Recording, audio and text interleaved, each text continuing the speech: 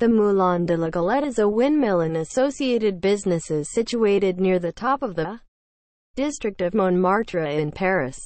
Since the 17th century, the windmill has been known for more than just its milling capabilities.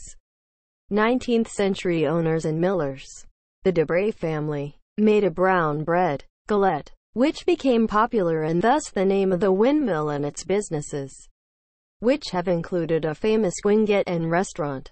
In the 19th century, Le Moulin de la Galette represented diversion for Parisians seeking entertainment. A glass of wine and bread made from flour ground by the windmill. Artists, such as Renoir, Van Gogh, and Pissarro have immortalized Le Moulin de la Galette.